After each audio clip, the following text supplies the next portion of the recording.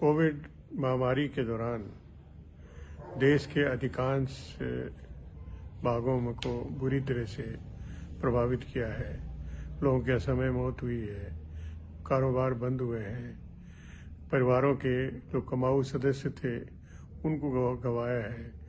जो private hospitals में बाध्य होकर इलाज कराने के लिए गए तो वो सड़क पर आ गए हैं। उनकी सारी बचतें खत्म हो चुकी हैं। और वो कर्ज में डूब गए हैं।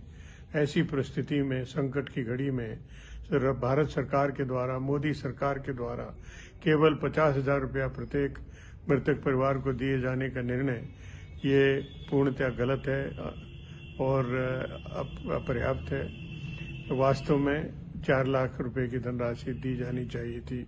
सरकार के पास पर्याप्त धनराशि है। अकेले डीजल पेट्रोल के टैक्स लगाकर ही लाखों करोड़ रुपया इससे वसूल किया है तो धनराशि का कोई संकट नहीं है।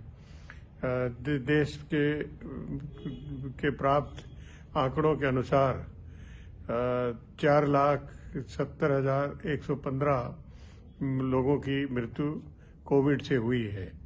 और ये धनरा, ये संख्या और भी काफ़ी अधिक है। गुजरात को एक बहुत ही अच्छा प्रदेश माना जाता है। वहाँ पर सरकारी आंकड़े के अनुसार दस दस हज़ार लोगों की मौत हुई है कोविड से। लेकिन घर घर सर्वे कराने के बाद ये पाया गया कि वो संख्या दस हज़ार नहीं है, बल्कि तीन लाख है। इसी तरह के सर्वे अन्य प्रदेशों में भी होना चाहिए और सही संख्या की जानकारी होनी चाहिए। और इसलिए इस पर हमारी मांग है कि कोविड से मरने वालों की संख्या सही संख्या दी जाए।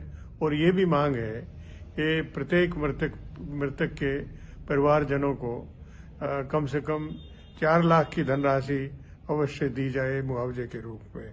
धन्यवाद।